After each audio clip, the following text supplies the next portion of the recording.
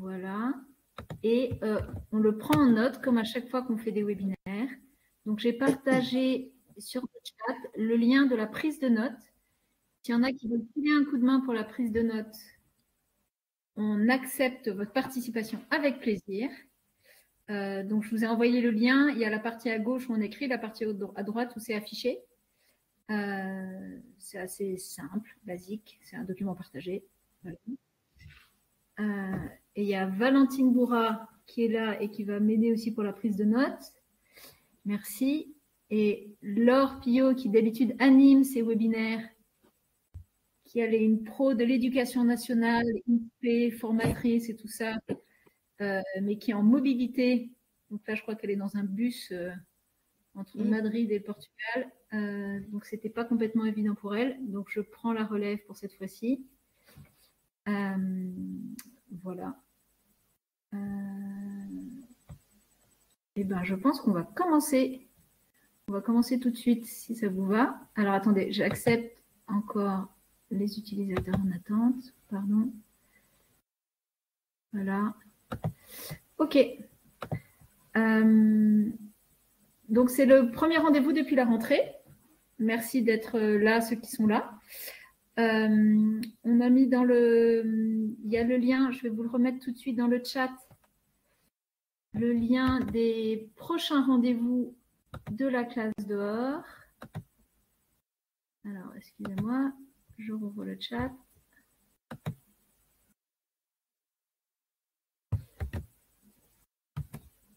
Tac. Donc là, j'ai mis dans le chat la dédié au rendez-vous de la classe Prochaine date. Donc la prochaine date, c'est le 29 octobre avec Ismaël Zosso, qui est du, de la Haute École Pédagogique de Vaud. Ils ont un centre de compétences Outdoor Education et qui va présenter leur euh, curriculum. Il était venu aux rencontres et ils vont venir aussi aux rencontres euh, à Marseille.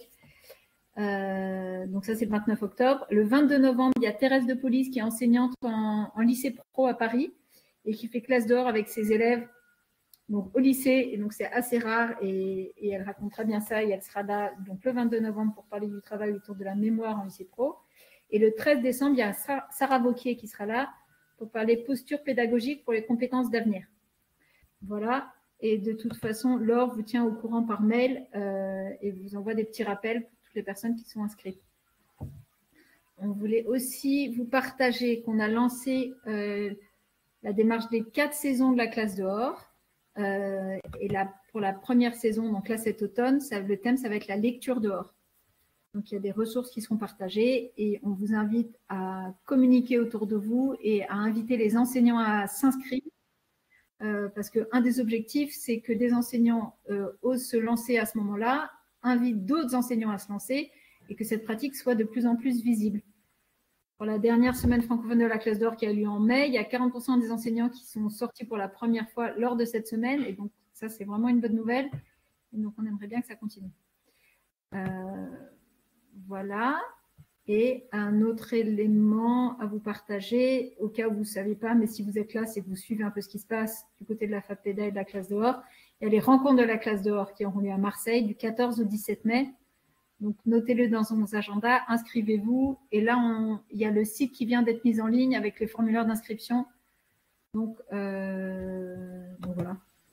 Et l'élément invité d'honneur des rencontres de Marseille, ce sera l'eau.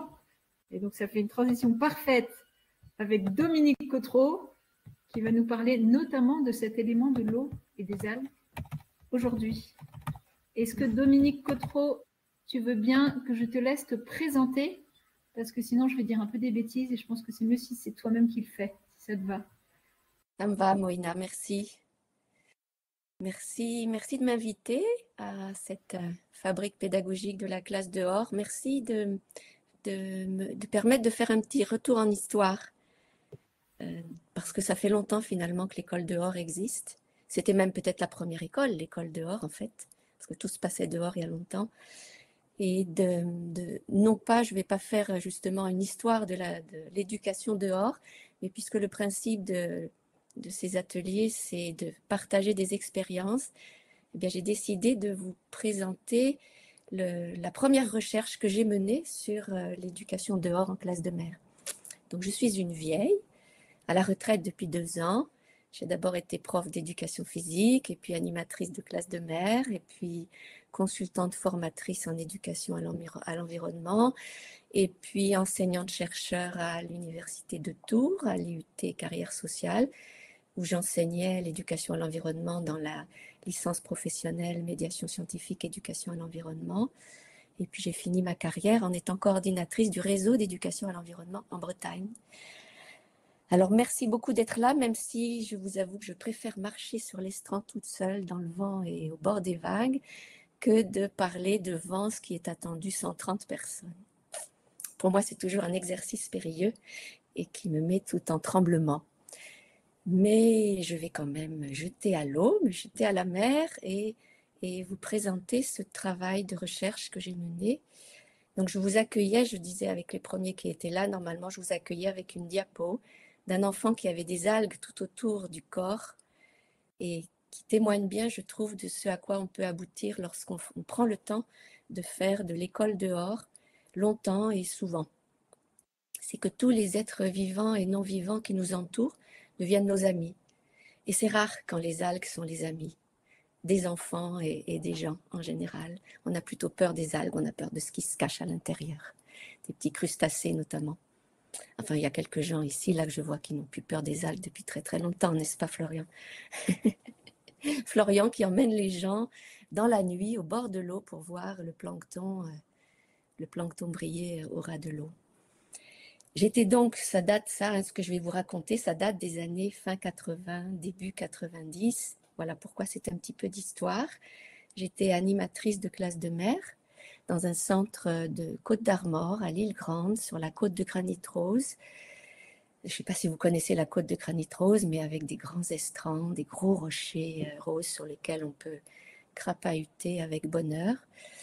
Et à cette époque, venant un petit peu de l'éducation nationale, puisque j'avais été prof d'éducation physique, eh bien, j'étais plutôt dans des approches majoritairement rationnelles et scientifiques, même si on passait les trois quarts de nos journées dehors.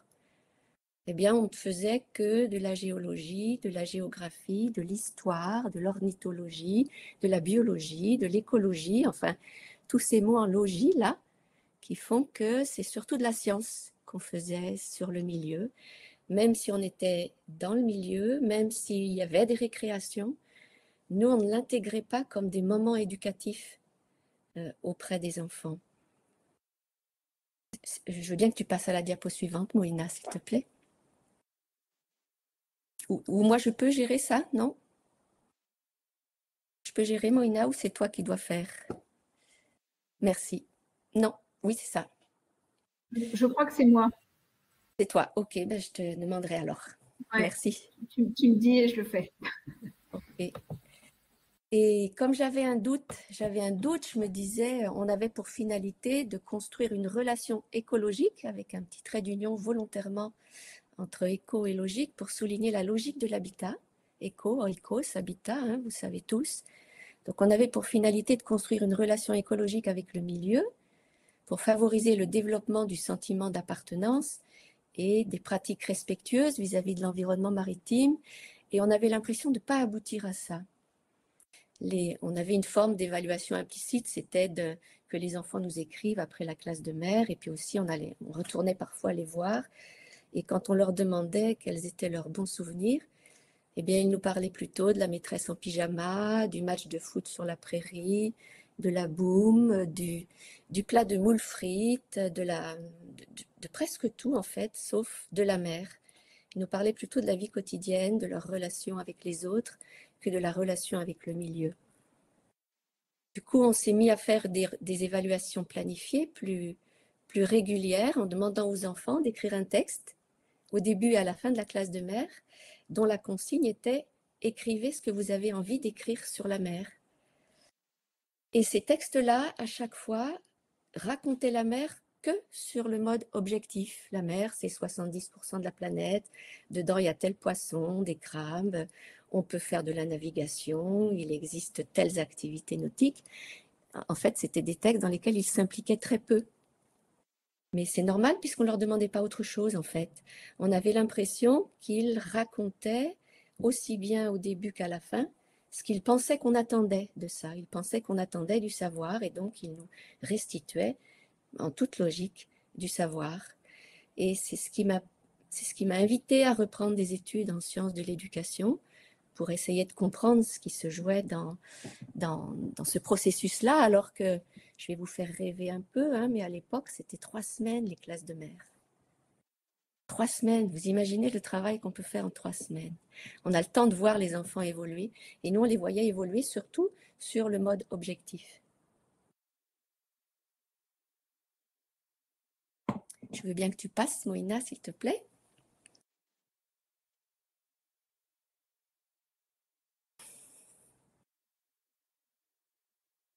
Ça vous fait de la respiration. Et en reprenant des études, eh bien, j'ai lu, abondamment hein, plein de livres, et notamment Edgar Morin. Et je me suis rendu compte que finalement, on était sur un seul versant de notre relation au monde. On était sur le versant d'une relation fondée sur la séparation. En fait, la science, pour pouvoir être objective, on dit toujours qu'il faut que le chercheur prenne de la distance sur son objet de recherche. Eh bien, dans la pédagogie, c'est pareil, finalement on, imposait une forme de distance entre l'enfant et tout ce qu'il pouvait étudier sur le milieu. Et la relation fondée sur la séparation, c'est hélas le grand paradigme de la pensée occidentale, nous dit Edgar Morin. Et c'est une pensée qui sépare l'objet du sujet, et donc l'objectivité de la subjectivité, qui sépare l'esprit de la matière, et on voit bien comment à l'école, toutes les disciplines de l'esprit avaient priorité sur les disciplines manuelles, sur les disciplines techniques, qui séparent la raison des sentiments. Il faut surtout laisser tous les sentiments dans le couloir de la, classe de, de la salle de classe. On sépare la culture de la nature avec, comme dit Edgar Morin, une capacité à se croire surnaturelle, c'est-à-dire placée au-dessus de la nature, et on sépare aussi la rationalité de l'imaginaire. Et nous, nous étions que sur un seul versant de cette double relation que nous avons avec le monde en général, que sur le versant de l'objet, de l'esprit, de la raison, de la culture et de la rationalité. Et une des hypothèses de, l'état du monde aujourd'hui, eh bien, c'est que dans ce modèle-là, se sont déployées l'illusion de l'indépendance humaine envers la nature et la Terre dans son ensemble, on a oublié nos écodépendances, on a oublié qu'on avait besoin d'un air sain à respirer, d'une eau propre à boire, d'une terre fertile pour pouvoir manger et d'une énergie et, d'un air dans lequel on n'a pas de pollution à envoyer. De là a grandi l'affaiblissement de la responsabilité, on ne se sent plus responsable de ce que devient la Terre, et par rebond un affaiblissement de la solidarité. On ne se sent plus solidaire des autres espèces vivantes.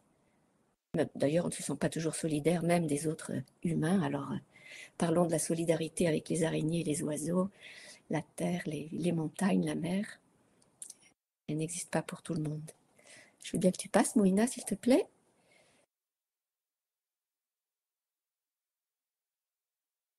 Et donc, au cours de mes, au cours de mes recherches, là, de mes lectures, eh bien, j'ai découvert notamment trois grands concepts fondamentaux qui ont complètement bouleversé à la fois mon regard sur la relation à la nature, mon regard sur ma propre histoire d'ailleurs, parce que j'aurais pu commencer la présentation de qui je suis par lorsque j'étais enfant, j'ai abondamment joué dans les forêts, sur les plages, au bord de la rivière, dans les prairies. Mes parents, j'ai eu la chance de naître dans cette époque où les, les adultes n'avaient pas encore peur de laisser leurs enfants jouer dehors et dès que j'avais fini euh, mes devoirs du soir, eh bien, j'allais dehors. Et dehors, là, je faisais du vélo, je courais, j'étais au bord de l'eau, je regardais les oiseaux, toute seule ou avec mes frères et sœurs ou avec les cousins, cousines ou avec les amis. Et donc, j'aurais pu, parce que c'est ça d'abord qui m'a formée. Et c'est ce que dit le premier concept dont je vais parler, c'est ce que dit l'éco-formation. Éco, toujours ce, ce préfixe oikos, et formation qui, qui dit pas simplement ce qu'on apprend lorsqu'on est adulte, qui est, qui est dans sa, conception la plus englobante, la plus ample de mise en forme de son être. Comment nos êtres sont aussi formés par l'oikos. Comment nous sommes formés par la mer, les montagnes, la ville, les rivières, les cours d'eau dans lesquels on a grandi, dans lesquels on a pu avoir la chance de jouer, qu'on a traversé, dans lesquels on a marché. Ce concept-là, il a été inventé par Gaston Pinault dans les années 90, qui reprenait ce que disait Jean-Jacques Rousseau dans Émile ou de l'éducation. Jean-Jacques Rousseau disait déjà, vous voyez, au XVIIIe siècle, au siècle des Lumières, qu'on a trois sortes de maîtres dans notre vie. Soi-même, notre, notre nature personnelle, les autres, et dans les autres, ce sont les parents, l'école, la société, toutes les institutions humaines, la culture, et les choses. Il les appelait les choses, euh, Jean-Jacques Rousseau. Les choses, pour lui, c'était la forêt, c'était les arbres, c'était la ferme, puisqu'il emmenait son Émile au travers la campagne pour qu'il apprenne par lui-même. Et donc, Gaston Pinault en a déduit un modèle tripolaire de formation permanente, de formation tout au long de la vie, qui dialogue avec des pôles qui dialoguent entre eux tout le temps. L'auto-formation, c'est-à-dire la formation par soi-même, l'hétéroformation lorsqu'on est formé par les autres, ou la socio-formation lorsqu'on est formé au milieu des autres, et puis l'éco-formation, et cette éco-formation-là, qui est sans doute le parent pauvre de, de l'éducation, eh bien, c'est la formation par tout le monde vivant et non vivant, grâce auquel on vit, grâce auquel on est vivant, grâce auquel, grâce auquel on peut respirer tous les jours, boire tous les jours, manger tous les jours, habiter quelque part tous les jours, trouver un abri, être abrité, avoir les pieds sur le sol et la tête dans le ciel tous les jours. Je veux bien que tu passes, s'il te plaît, Moïna. Je crois que je vais dépasser le temps. Un plus lente. Dans le deuxième de, nos concepts, de mes concepts fondamentaux, c'est la place du corps. Alors sans doute, mon histoire de prof d'éducation physique m'a fait regarder la place du corps plus finement. Mais, mais c'est une évidence, en fait, là je ne dis que des évidences finalement, mais les évidences, elles sont bonnes à redire. Eh bien, le premier médiateur de notre rapport au monde, c'est notre corps. C'est parce qu'on a des yeux, des oreilles, un nez, une peau, des bras, des jambes, parce qu'on peut marcher, parce qu'on peut courir, grimper, parce qu'on peut, on peut entendre, voir, sentir, que on fait entrer le monde à l'intérieur de nous. Et puis c'est parce qu'on a ce corps-là aussi qu'on envoie des informations au monde. Le corps est le premier médiateur de notre rapport au monde et c'est par lui qu'on apprend, c'est par lui qu'on grandit, c'est par lui que, que tout ce que, que tout ce qu'on comprend transite, en fait. Un très beau livre de David Le Breton qui s'appelle, s'appelle, je sais plus comment, La saveur du monde. Le très beau titre, qui raconte justement, qui déplie comment nos cinq sens sont nos outils à fabriquer du sens. Comment c'est parce qu'on a un corps sensoriel et moteur qu'on peut bouger, apprendre, grandir dans et avec le monde. Le corps, lieu d'accueil et d'échange avec le réel, produit un monde d'images, c'est parce qu'on a un corps qu'on va construire des images mentales. Ces images mentales vont, vont être des schèmes d'interprétation du monde. Jean Piaget en parlait déjà dans les années 1970. Et c'est parce qu'on a des images mentales qu'on va pouvoir comprendre le monde. nos images mentales, là, vont être organisateurs du monde intelligible. Et en retour, ça va nourrir le monde sensible. Vous voyez ce petit schéma que j'ai mis à droite, là? Tout ça, c'est en interrelation en permanence. Nos sens, nos gestes, nos mouvements fabriquent nos images et nos représentations qui elles-mêmes nous permettent d'entrer en, abstraction et en intellect. Et c'est en permanence en train de fonctionner tout au long de notre vie et depuis qu'on est euh, tout bébé. De la même manière qu'on n'apprend pas à marcher par une leçon sur les lois de l'équilibre, vous êtes d'accord avec ça? Eh bien, on n'apprend pas à être au monde par un enseignement sur le monde. On apprend à être au monde parce qu'on vit dans le monde. Je veux bien que tu passes, Moïna, s'il te plaît. Et le troisième concept, eh bien, c'est ce monde des images mentales qui fabrique notre imaginaire. Je me suis rendu compte que finalement, l'imaginaire, loin d'être ce qu'on disait dans les années 60. L'imaginaire, l'imagination était considérée comme la folle du logis, quand on était encore en pleine croyance de la rationalité. Eh bien, c'est tout sauf ça. L'imagination, c'est ce qui nous permet d'interpréter le monde. De la même manière qu'on a besoin d'un système biologique qui nous permet de respirer, de boire, de manger, de marcher, eh bien, on a besoin d'un système d'interprétation du monde, et c'est l'imaginaire. Depuis que l'homme est homme, il a inventé l'imaginaire, et les premières traces de l'imaginaire sont la sépulture et les peintures et les peintures murales des, Homo sapiens et, Homo neanderthalis. Et eh bien depuis ce moment-là, depuis qu'on a créé un double entre sa pensée et le monde extérieur, eh bien on ne s'est jamais départi de l'imaginaire. Nous avons un imaginaire occidental que nous partageons, de la même manière qu'il existe d'autres imaginaires dans d'autres parties du monde. L'imaginaire est, ce qui fertilise notre rapport au monde. C'est là-dessus que peut aussi euh, se développer une poésie du monde, une rêverie du monde sur l'imaginaire. Donc moi, je l'ai tout simplement qualifié de écologique, puisque pour comprendre le monde, il nous faut un imaginaire. Eh bien, l'imaginaire est une des fonctions écologiques de l'être humain. Comme le dit Gilbert Durand, l'imaginaire est l'hormone de l'espérance. Je veux bien que tu passes, s'il te plaît, Moïna.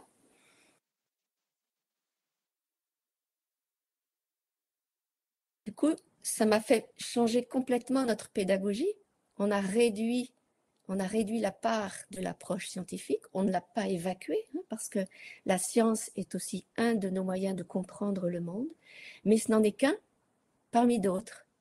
Et donc, on est entré en alternance pédagogique, en diversité pédagogique, que j'ai appelé l'alternance éco-formatrice entre les approches scientifiques, on a gardé biologie, géologie, ornithologie, histoire, tout ce qui, tout ce qui peut comprendre, tout ce qui peut permettre de comprendre d'un point de vue scientifique le milieu. Mais on lui a adjoint l'approche par l'imaginaire. Et donc l'approche par l'imaginaire, on fait, les enfants le font à l'école, hein, c'est euh, c'est la poésie, c'est le land art, c'est la sculpture, c'est le conte, c'est la danse, c'est le mime. Donc on a intégré tout ça dans nos classes de mer. On lui a adjoint aussi l'activité physique. Les enfants faisaient de la voile, mais en plus on a fait de la course d'orientation. On est allé crapahuter dans ces très gros rochers de la côte de granit rose, qui sont des, autant d'invitations pour les enfants. En fait, c'était les enseignants qui avaient plus de mal à monter sur les rochers. les enfants couraient devant et moi j'aidais, j'aidais les instits à crapahuter sur les rochers. et l'avantage de, nos gros rochers là, c'est qu'ils sont, c'est du granit. Le granit, donc c'est du grain, alors on ne glisse pas. On marche en toute euh, sécurité. Pour peu qu'il y ait des balanes en plus, donc ces petits crustacés là, vous savez, les petits crustacés blancs qui sont dans un petit cône, eh bien du coup c'est en toute sécurité qu'on peut monter sur ces rochers. Et puis on lui a adjoint ben, l'approche par la liberté, ce qu'on appelle aujourd'hui le jeu libre. Moi je l'appelle l'approche par la liberté parce que parfois les enfants ne jouent pas lorsqu'ils sont en récréation. Parfois ils dorment, parfois ils parlent, parfois ils contemplent la mer, parfois ils rêvent, et parfois ils jouent. Et ça, c'était tous les jours, on, instituait cette, diversité pédagogique tous les jours je travaillais sur île Grande, c'est une île, donc on changeait régulièrement d'estran. On avait les estrans sableux, les estrans vaseux, les grands estrans, les, petits estrans, c'était formidable.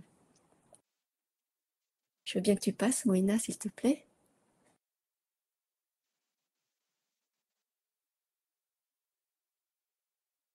Et pour étudier justement ce qui se passait grâce à cette nouvelle, cette nouvelle mise en place pédagogique, et comme j'étais d'abord en mémoire de DEA à l'époque, et, puis après en thèse de doctorat, eh bien j'ai organisé un protocole de collecte de données qui était que pendant une classe de mère dont j'étais animatrice, j'étais en recherche-action en fait. Hein. Je n'étais pas chercheur extérieur, j'étais en recherche-action. Ben, pendant une classe de mère de trois semaines, pendant lesquelles on accueillait des enfants de CM2 de la ville de Paris, je recueillais leurs représentations mentales, toujours par ces fameux textes libres, au début et à la fin. Écrivez ce que vous avez envie de dire sur la mer. Et j'en disais pas plus en termes de consignes. Quand ils me disaient qu'est-ce que tu veux qu'on dise là-dessous, je disais à vous de voir. Puis j'ai choisi deux enfants par classe que j'observais pendant leurs activités libres. Et je les prenais en entretien tous les trois jours, ces enfants. Et ça, j'ai fait ça avec plusieurs classes, certaines en pédagogie de l'alternance éco-formatrice et d'autres où je maintenais la pédagogie qu'on faisait avant, simplement la pédagogie scientifique. Je veux bien que tu passes, Moïna.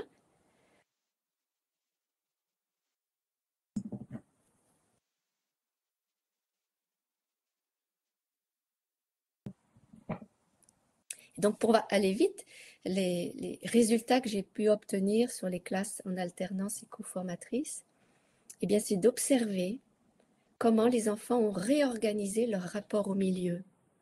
Ils ont réorganisé leur rapport au milieu dans, une démarche qui était déjà décrite par Edgar Morin sur justement toute l'évolution du monde dans sa fameuse série de livres sur la méthode. Ils ont une relation initiale qui est basée sur leurs expériences antérieures. Ceux qui sont déjà allés à la mer vont parler de la mer en fonction de ce qu'ils ont vécu antérieurement à la mer, et ceux qui ne sont jamais allés à la mer vont dire ce qu'ils savent de la mer, en fait.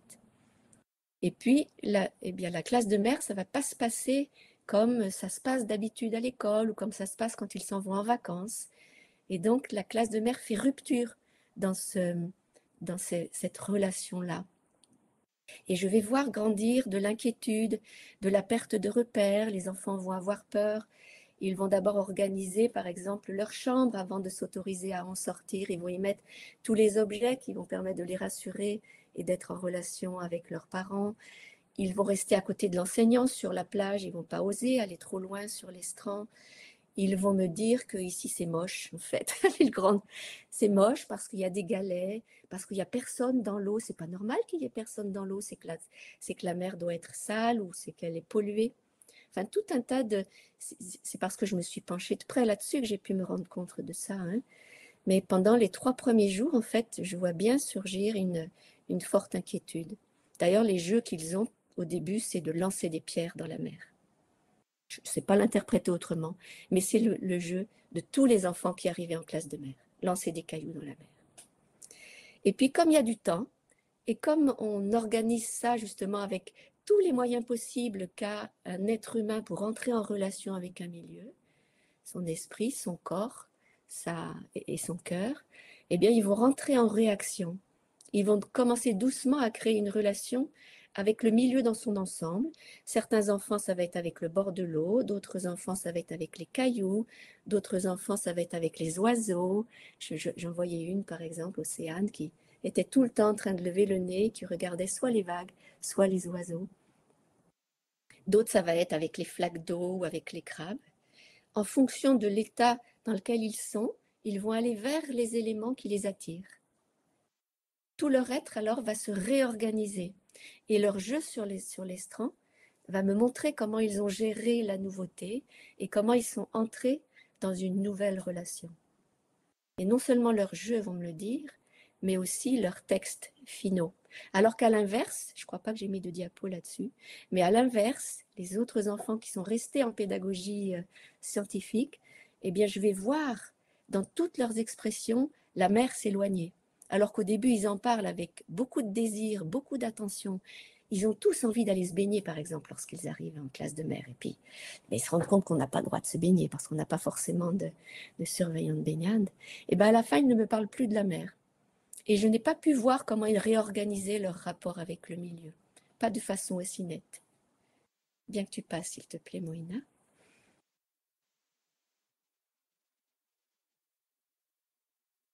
Je vais vous donner juste euh, un exemple et demi, un, exemple de texte libre d'un petit garçon qui s'appelait Pierre. Alors je n'ai pas du tout caché son prénom parce que parce que Pierre, il a construit son rapport au milieu avec les pierres et je ne pouvais pas changer le prénom de Pierre. je ne pouvais pas l'appeler Galet, par exemple. Le premier texte de Pierre, donc enfant de CM2, qui arrive en classe de mer euh, au mois d'avril, je crois il écrit, euh, le, texte, les enfants arrivaient le soir vers 17h et, et ce travail-là, il est fait le lendemain matin à 9h. C'est rendez-vous dans la classe et euh, c'est là que je faisais faire ce texte. La mer, c'est génial. Ce qui est vraiment super, c'est qu'on peut faire plein de sports différents. Enfin, je me trompe un petit peu parce que la mer, ce n'est pas un terrain de sport.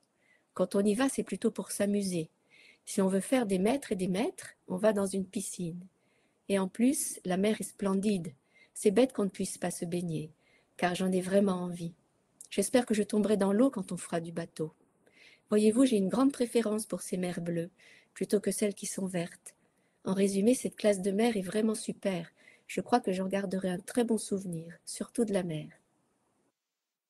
Pierre est arrivé avec euh, une classe dont l'instit faisait des classes de mer depuis 17 ans. Il n'avait presque pas besoin de moi, en fait, cet enseignant-là.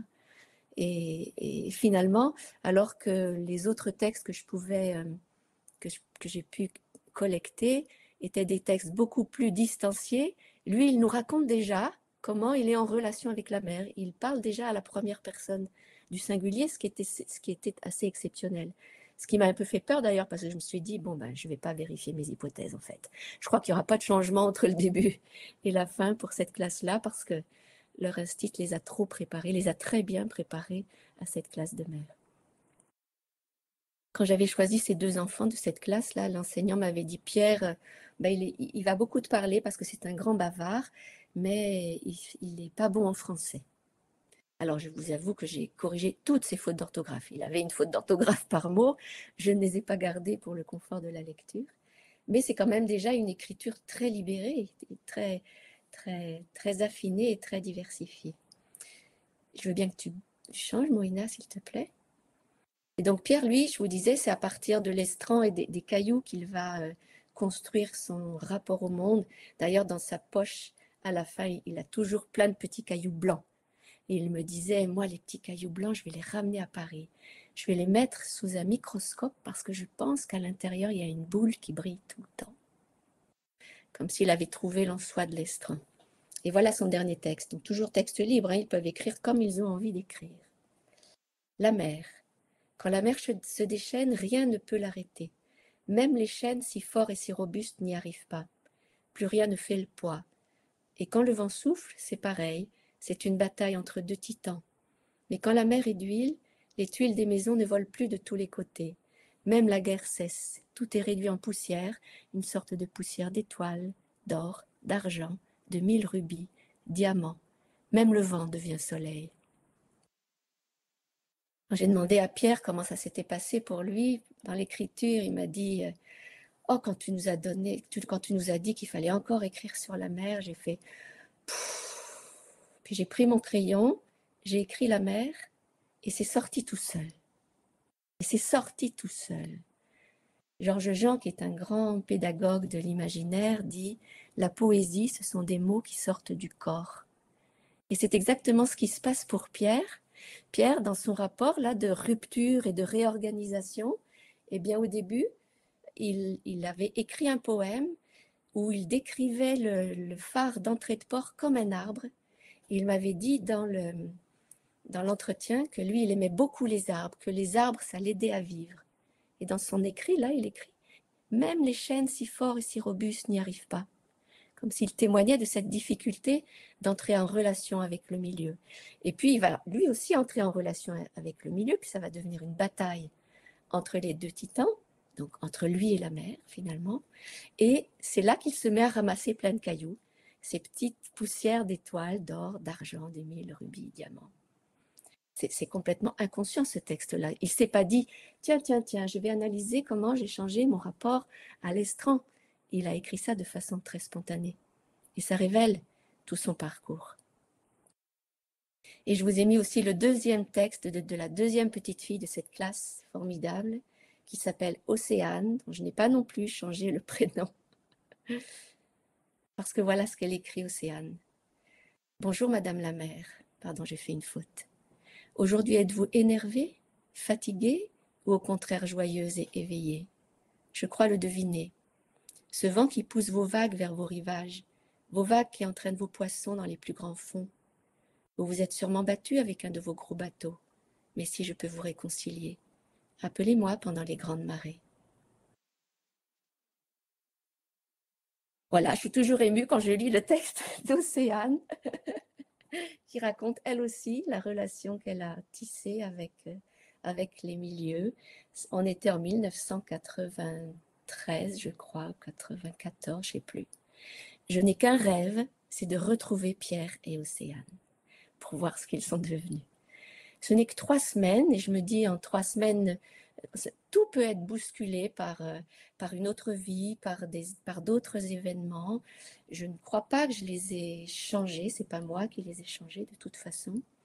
J'ai juste insufflé de l'éco-formation au milieu d'éducation, c'est-à-dire la différence entre l'éducation et la formation, c'est que l'éducation, on trace un chemin, on a envie d'aller vers ce chemin avec euh, les gens qu'on accompagne, alors que la formation, dans son, dans son acception globale, ben en fait, on ne sait pas où ça va.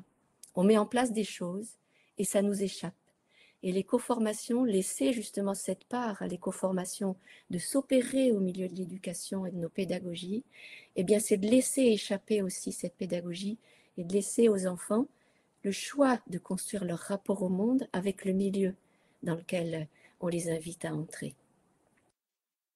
Et donc pour conclure, si tu veux bien passer, Moïna, s'il te plaît, parce que j'ai été un peu longue.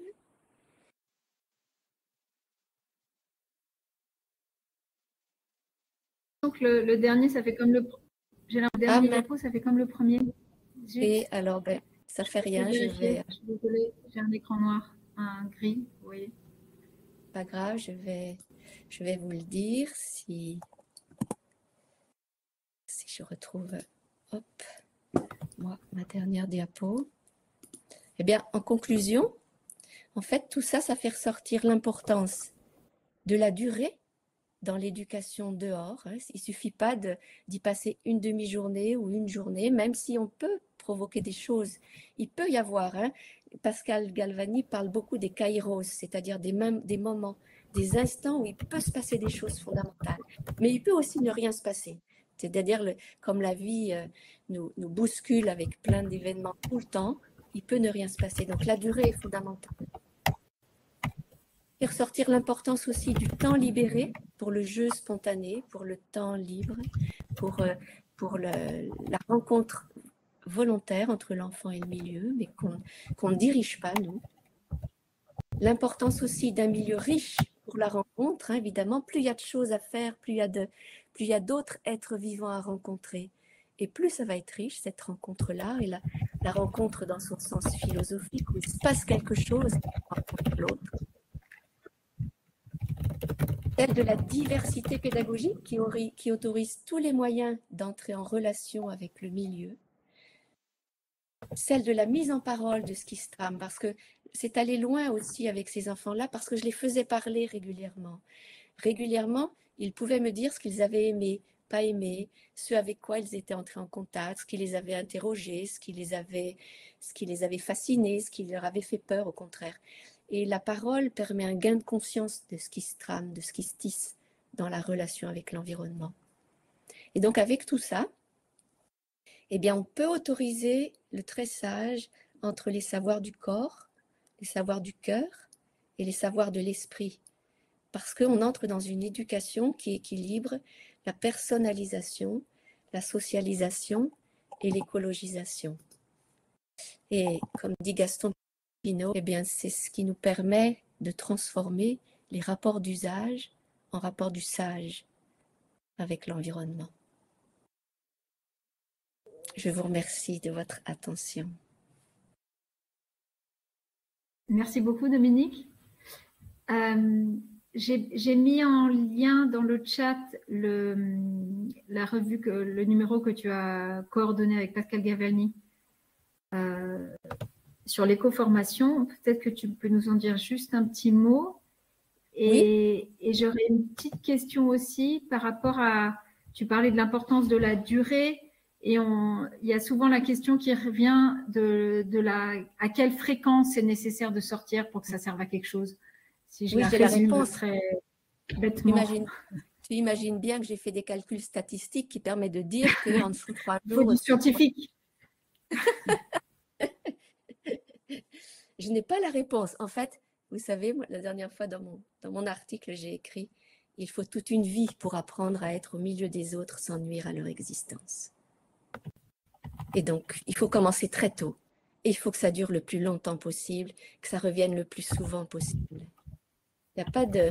En plus, en plus, pour certains, ça va aller très vite parce qu'ils ont aussi une éducation à la maison qui autorise à ça. Et pour d'autres, ça va demander plus de temps parce qu'ils habitent dans un immeuble et que les seuls euh, espaces de nature qu'ils voient, c'est, la verdure au pied de la tour et, et, peut-être le ciel quand euh, ils s'autorisent à lever la tête vers le ciel.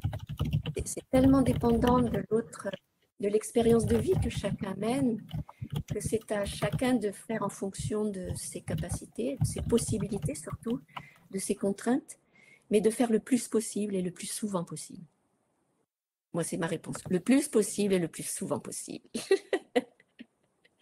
et bousculons, bougeons les murs, bousculons tout, entrons en résistance, entrons en combat pour euh, accroître ce temps de, de, dehors. Et même si des fois, on sort des clous, sortons des clous. Et donc sur la revue, vous connaissez peut-être l'unique revue recherche de recherche sur l'éducation relative à l'environnement qui s'appelle Revue Éducation relative à l'environnement, concept, euh, non, regard, recherche, réflexion. Elle est animée actuellement par l'Université du Québec à, Montréal, avec qui on est beaucoup en relation euh, dans l'écoformation. Notre groupe de recherche en écoformation est euh, à un pied au Québec et un pied en France. Et, on a le dernier numéro de cette revue est consacré à l'éco-formation. Et vous avez pu comprendre que l'éco-formation, ça se passe toute la vie. Donc, il y a des, témoignages et des recherches à la fois sur le monde des adultes et des enfants. Par exemple, il y a deux, je crois qu'il y a deux articles sur, euh, sur la recherche-action Grandir avec la nature qui s'est déroulé les années passées euh, en partenariat avec le FREN. Euh, merci. J'ai une petite question dans le chat par rapport à l'éco-formation de Patricia Tavormina. Quelle place pour l'éco-formation dans l'enseignement supérieur avec souvent des enjeux de massification enseignement en grand groupe C'est une bonne question. je n'ai pas, la réponse. ouais, c'est compliqué c'est compliqué dans, toutes les institutions, c'est compliqué de toute façon, hein, parce que c'est encore, ça fait 30 ans, 40 ans, on est en quelle année 35 ans qu'on parle d'éco-formation et ça fait 35 ans qu'on est un petit groupe à travailler dessus seulement. Il faut produire, on n'est peut-être pas des très bons communicants, mais euh, il y a très peu d'espace pour ça. Et on voit bien qu'avec le virtuel, enfin, c'est ça, toutes les recherches là qui nous montrent comment justement plus le temps passe et plus on s'enferme à la fois dans l'intérieur et dans du virtuel, du coup le dehors n'a plus de place. Mais je pense qu'il existe des associations d'étudiants qui travaillent à ça et que selon les études que l'on fait, euh, il y a des espaces de dehors, mais le dernier webinaire que j'ai fait ou l'avant-dernier, je ne sais plus. Eh bien, justement, tout le monde se plaignait de ne plus pouvoir aller dehors, y compris dans des études y Vous ne m'entendez plus? Si.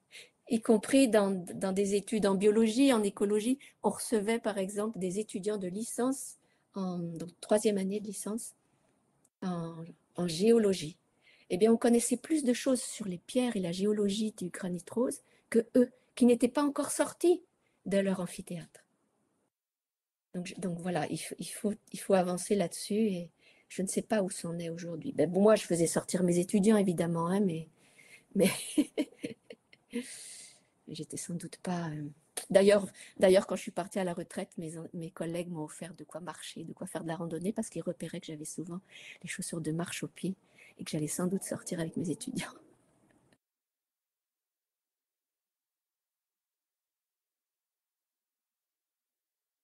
On t'entend pas, Moïna, ton micro est coupé. Ah oui, pardon. Euh, je disais, il y, a, beaucoup de remerciements déjà dans le chat, donc ça, je te passerai après.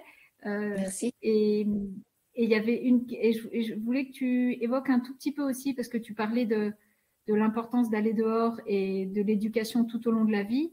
Est-ce que tu pourrais raconter un tout petit peu par rapport à, aux écobiographies et aux groupes que tu accompagnes euh, issus de la recherche action du FREN en direct à la nature? avec plaisir. C'est un autre moyen de, travailler les co-formations avec les adultes. Alors évidemment, il faut, aller dehors tout au long de la vie, il faut emmener aussi les adultes dehors. Hein. Donc continuer, continuer ce travail de sensibilisation dans le sens de rendre sensible, rendre sensible au milieu qui nous entoure et aux autres espèces.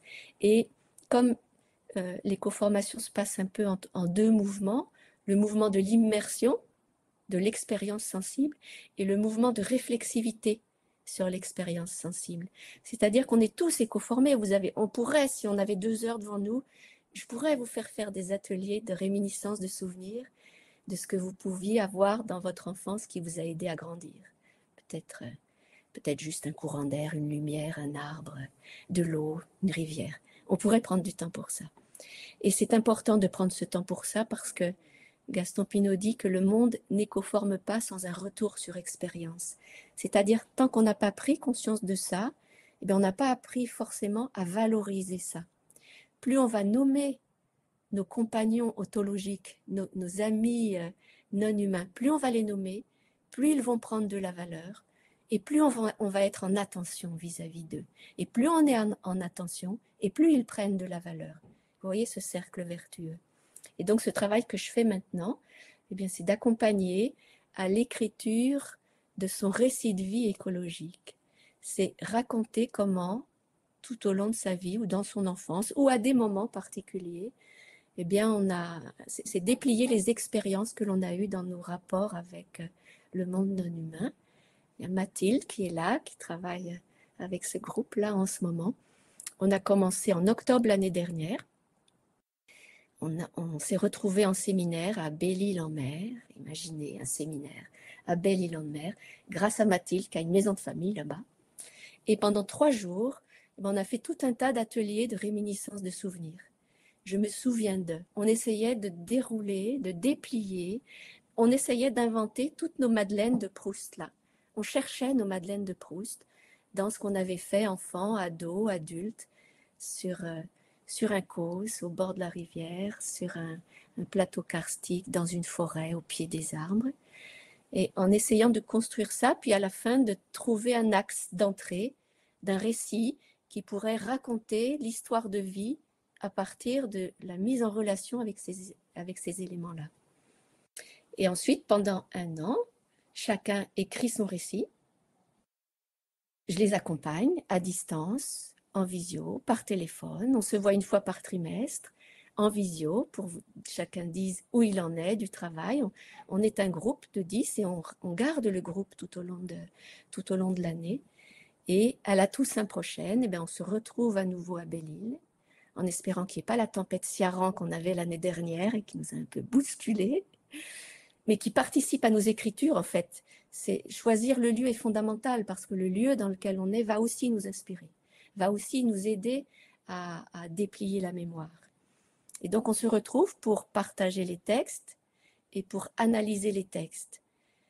Qu'est-ce que ça nous dit de la formation de la relation écologique? Ce que nous avons écrit, ce qu'ils ont écrit, qu'est-ce que ça continue de nous dire sur l'éco-formation?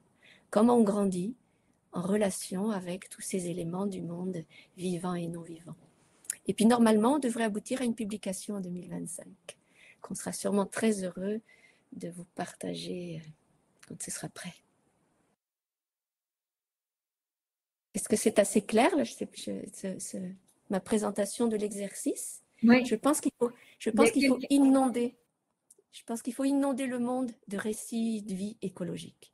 Il faut montrer au plus grand monde que euh, les oiseaux, les arbres, la rivière, le ciel étoilé, la nuit, tout ça a une place dans la vie, participe à ce que l'on devient, participe à qui l'on est et, euh, et, sont nos amis fondamentaux dans, dans la perdurance de la vie sur la planète.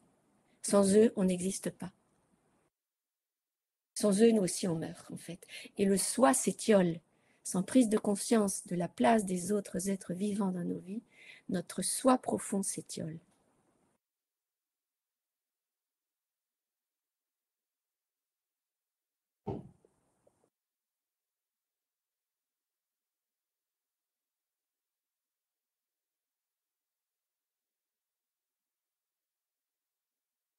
J'aime bien le silence, vous inquiétez pas. C'est une respiration, le silence. Tu as coupé ton micro, Maï, euh, Moïna. Pardon, j'étais trop impatiente. Est-ce que euh, Sarah Clémenceau demande est-ce que d'autres stages d'écriture, comme ceux qui ont donné lieu au livre dehors, ces milieux qui nous transforment, sont prévus? Et comment être tenu informé? Je ne sais pas. je ne sais pas encore. Mais en tous les cas, ce qui se passe aussi avec ce groupe-là, c'est que je transmets. Et donc, ce sera peut-être pas moi, mais je pense qu'il faut, il faudra continuer et ce sera peut-être eux qui feront ça. Et bien sûr, vous serez informés. Je pense que je ne sais pas qui encore, mais il se pourrait qu'il y ait du monde à Marseille dans lequel on puisse partager ça, partager, euh, partager les résultats, partager ce que ça, ce que ça implique. Alors, moi, je suis au bout de Marseille, hein, donc je ne sais pas encore. J'aimerais y être. Je ne sais pas encore si je pourrais y être. Mais, mais en tous les cas, on communiquera, c'est sûr. Et puis, et puis c'est, c'est, en tous les cas, c'est de mon désir que ça continue, c'est sûr. Et quand je t'avais posé la question il y a quelques jours, exactement la même, tu me disais, euh, ça, ça, je me souviens plus le lapsus que tu as fait, mais ça fait partie des formations de tous les enseignants. Et j'ai trouvé ça ah assez génial. Ça devrait. Oui, je, je prenais mes rêves pour des réalités. Ça devrait faire partie des formations enseignantes que tout le monde travaille sur son histoire de vie écologique, sur son éco-formation, même, même si elle n'est pas, il faut pas aller chercher euh, la traversée du désert ou bien la traversée de l'Atlantique dans l'éco-formation. Il suffit juste d'un, d'un arbuste, d'un, d'un brin d'air, d'une petite fleur, d'un papillon. Il y a, tout le monde a une éco-formation et, et c'est d'aller prendre, d'aller chercher ça. Et je pense que garder de la place pour ça dans les formations enseignants, mais quel bon en avant on ferait. Quel bon en avant. Ça peut être un bel objectif parce que dans ce groupe, il y a beaucoup de formateurs de l'éducation nationale aussi. Donc, euh, ça pourrait être un, bel objectif de prendre ça en compte aussi dans le, cadre des formations. Mm, euh, mm. J'ai une main levée, Valentine. Est-ce que c'est fait exprès ou pas? Elle fait beaucoup de gestes, Valentine. non, peut-être pas. Ah, si, à nouveau.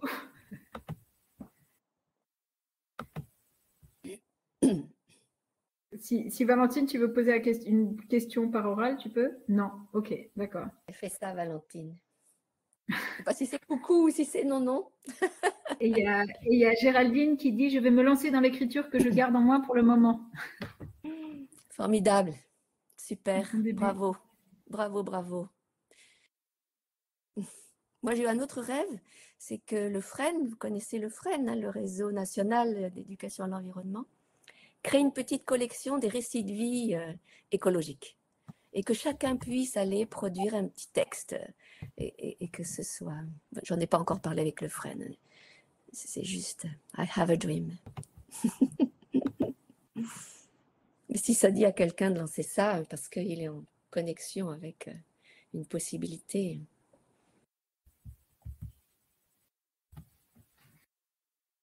Et qu'est-ce que, par rapport à la, à la, formation pour les enseignants, toi, comment tu, tu pourrais imaginer les choses? Oh là là, moi, la seule imagination que j'ai, euh, c'est de réduire la part, de réduire la part euh, descendante didactique et d'augmenter la part d'exploration de son être au monde. D'accroître un peu l'accompagnement, d'arrêter euh, d'arrêter la formation au sens, enfin de réduire la formation au sens c'est moi qui vais te former, donc tu m'écoutes, et d'ouvrir c'est toi qui te formes, c'est toi qui te modèles, donc à toi aussi de, et donc lui laisser, l'espace-temps à ça. Et ça peut être aussi un autre moyen de se former, c'est euh, d'accompagner le partage autour des expériences de classe dehors. Partager comment on vit nos pédagogies dehors, c'est aussi un moyen de se former. Partageant les peurs, les, possibilités, ce qu'on a pu inventer, les, sources de créativité dans lesquelles on a pu, euh, on a pu, qu'on a pu mettre en place avec ces euh, élèves dehors. Et ça, ça forme aussi. Parce que quand on regarde ces enfants faire dehors, je pense, ben ça renvoie aussi à ce qu'on a fait enfant dehors. Il faut interroger aussi ses propres enfances. Et je pense que quand on partage ça, en partage d'expérience, c'est très formateur. En dehors des formations euh, formel, on va dire. En fait, il faut toujours, moi j'aime beaucoup le tricot. Je ne sais pas tricoter la laine, mais j'aime beaucoup les tricots pédagogiques, éducatifs, formatifs. Il faut aussi tricoter l'éducation formelle, l'éducation non formelle et l'éducation informelle. Laisser l'informel dialoguer avec le formel. Merci. Il y a Natacha Drogov qui partage un outil pour écrire le futur, rêver son avenir, qui s'appelle Fresque des nouveaux récits. Euh, des nouveaux récits. Et euh, il y a Véronique Francis qui a levé la main. Je ne sais pas si c'est fait exprès ou pas. Oui, c'est fait exprès. Ah. Je vois. Euh, Est-ce que vous voulez poser une question à l'oral? Il faudrait mettre votre micro. Que vous pouvez mettre votre micro? On ne vous entend pas. Vous pouvez écrire dans le chat sinon?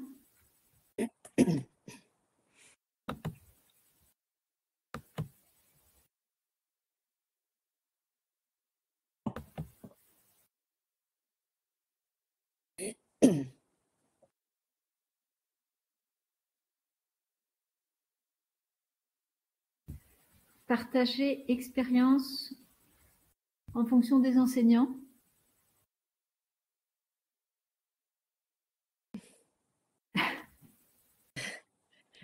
Formation des enseignants, pardon. Pas en fonction, en formation des enseignants. Oui, organiser du partage d'expérience en formation mm. d'enseignants, c'est ça? Ben oui, bien sûr. Bien sûr, bien sûr. Alors peut-être que ça va fonctionner là? Oui, oui, là ça marche. Ah, super. merci. Euh, bonjour à toutes et merci beaucoup Dominique pour cette euh, exposé vraiment formidable. Euh, je suis enseignante chercheur en INSPE et depuis 2013 j'ai transféré mes pratiques de professeur des écoles dans le cadre de la pédagogie freinée en INSPE avec la pratique de la classe promenade donc euh, plus encore de la classe promenade à la classe atelier. Euh, ce qui fait que euh, au maximum, je profite tout simplement de l'environnement de l'INSPE, c'est-à-dire le campus, pour faire sortir mes étudiants et étudiantes, y compris sur des temps courts, puisqu'on a des des, formats de cours qui correspondent à deux heures, trois heures, mais j'ai quand même réussi à regrouper des cours afin euh, de proposer la classe atelier, de sorte à avoir des temps longs de six heures, parfois huit heures avec les étudiants et étudiantes. Et euh, au fil des années, j'ai constaté que les résistances étaient moindres parce que euh, faire sortir les étudiants et étudiantes, euh, ne serait-ce que dans l'espace de l'INSPE, euh, ça correspond ben, voilà, à des représentations qui euh, sont très, très éloignées de ce qui correspond au cours à l'université et même en INSPE. Et je constate de plus en plus une adhésion des étudiants et étudiantes à ces formats de classe dehors euh, que j'ai institué euh, dans un premier temps euh, par la classe promenade, y compris dans un format qu'on appelle le cours magistral. Donc parfois, avec 80 étudiants, il y a une classe promenade qui est organisée sous forme de petits groupes. Chacun fait sa classe promenade dans l'espace du parc de l'INSPE. Et en général, les INSPE ont de très beaux parcs. Donc c'est euh, du coup une occasion formidable. Et euh, voici deux ans, euh, Centre Val de Loire a été candidat, a été lauréat pour l'AMI Émergence, l'appel à manifestation d'intérêt émergence, et une communauté de pratique sur la classe dehors a été constituée, qui regroupait à la fois des professeurs des écoles, euh, mais aussi euh, des formateurs, des professionnels dans le secteur de la petite enfance et de l'éducation à l'environnement. Et il y a une publication du Grain Centre Val de Loire qui est en préparation et qui ne va pas tarder euh, à paraître. Super. Donc, on va partager ça. Un partage. Merci beaucoup. Expérience. Est-ce qu'il y aurait une dernière petite question ou remarque? Euh, Parce qu'il est déjà midi 33. Sinon, on va se dire au revoir. Et merci beaucoup pour votre témoignage. Oui, merci Véronique. Avec plaisir.